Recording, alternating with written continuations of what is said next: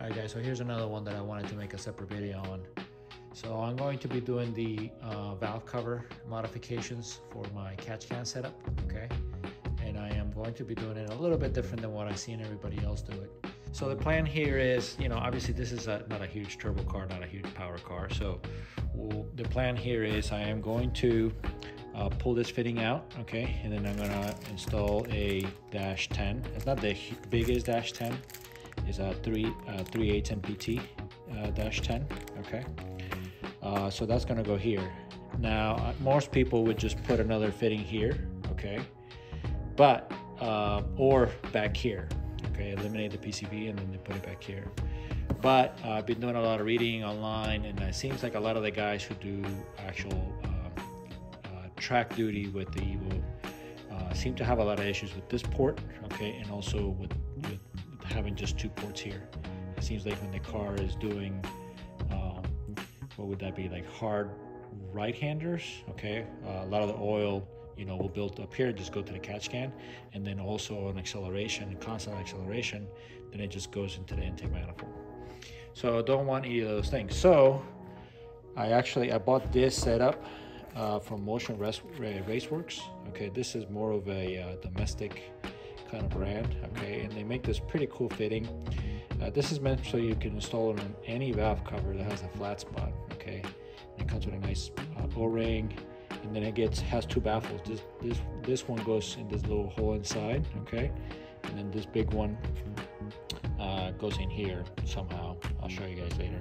And it comes with a little bracket and this is also like a template so the idea is I mean this is kind of big it's overkill because that's meant to you know be run on a, big V8 you could run like a dash 12 so this is a dash 12 to dash dash 12 ORB to dash 10 AN. So the idea is I'm going to mount that there, okay, or somewhere around there, one of these, in one of the flat spots, okay. And the hopes is, and I'm also going to eliminate the, the, the PCV, so I'm going to block that off. So the hopes is that obviously to get enough ventilation, okay, that's that's the main thing, not get any oil in the intake, etc., etc. But also not to get a ton of oil in the catch can. So hopefully with this being up high, okay, um, and then also having the, I'm gonna keep the stock baffles, okay, and the two baffles that this has built in, I'm hoping that that's gonna keep a lot or a lot or all the oil out of the system,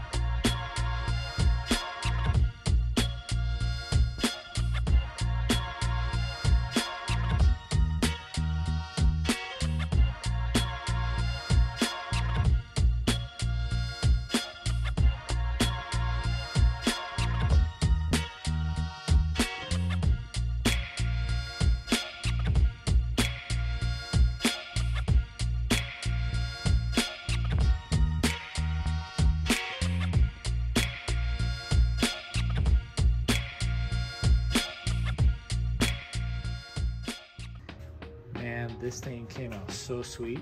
I really like this color. I really, it, I, was, trying to match the calipers. It's not quite the same blue as the calipers, but I'm still very, very happy with the color. And I had, I had him do the, the uh, exposed, a slightly polished on the uh, MIVEC Turbo. I think that came out really nice.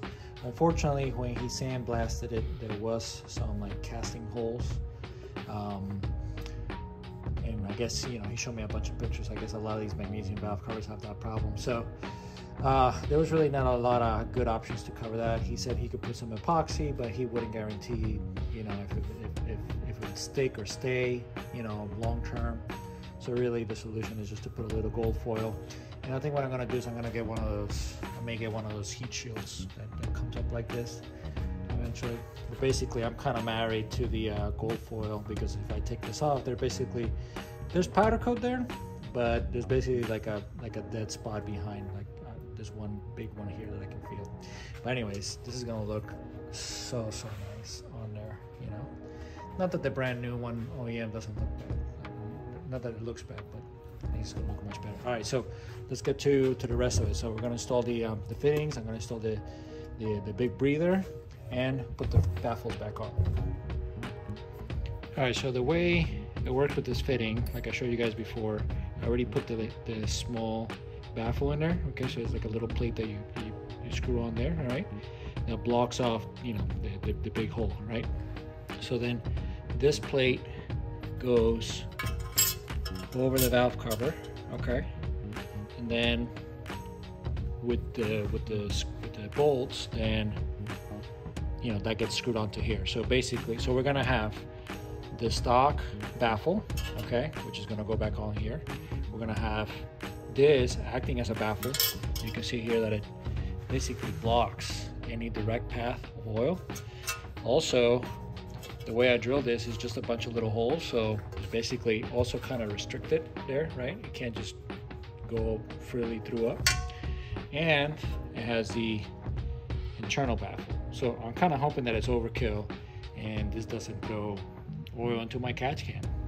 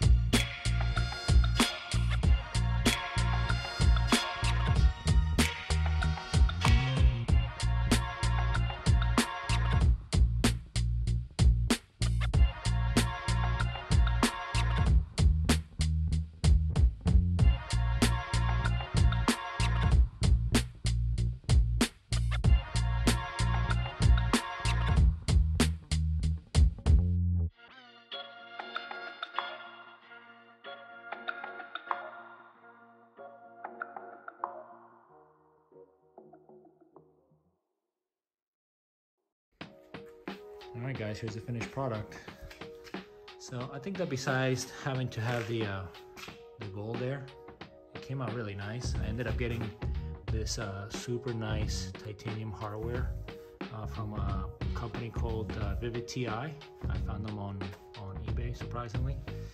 And this definitely clears. Uh, there's no issues with the with the hood clearance or anything like that. so another domestic thing that I got, and this is I, I ran some of these in my Evo 10 as well. Uh, so this is a Mighty Mouse Solutions catch can. Um, it actually has a really nice design inside and everything like that. I'm not gonna get into all the details about it because that's not what this video is about. But uh, I basically, it came with this uh, little quick release mount, okay? So you can unscrew it from here, right? And then quickly kind of pull it up. And it also has little quick drain at the bottom, all right? So it, it, uh, it comes with that. You can pick whatever fittings you want. Okay, you can also put a fitting here if you wanted a third fitting. Uh, but if not, it comes with default with the little with the little window. Okay, it, it is baffled. This you know it's got all kinds of nice features and stuff like that. Again, and that's more of a domestic kind of brand. Uh, but I made I made my own little mount here. I just put a backing plate behind the uh, the Fat Fab battery mount. Okay, and I mounted it there. Um, and then I really like this line. This is the uh, Aeroquip uh, StarLite. Okay, and even although you do need like in uh, tools to put this together. Okay, the actual hose ends. The hose itself doesn't is not braided. It is braided, but it doesn't have the steel braiding. Okay, so you know this is not high pressure. So this is really easy to work with. It's really flexible. The steel braided stuff sometimes just becomes a pain in the ass. You know. Yeah. Besides that, man, uh, I'm really happy with the with the end result. Okay. Uh, so far, I've driven the car a few hundred miles, and it doesn't seem to be anything in the catch can.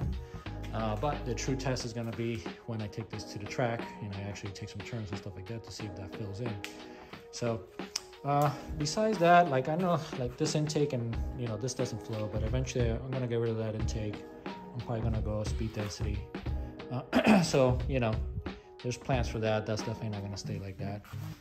And you know I'm not really super thrilled with the way the manifold looks and the yellow turbo. But again, this is all kind of you know, for now. You know, hopefully in, in the future I'll be able to to get a, a nice motorsports kind of setup. So I'm gonna leave it at that, guys. Uh, let me know what you think about the valve cover. Okay.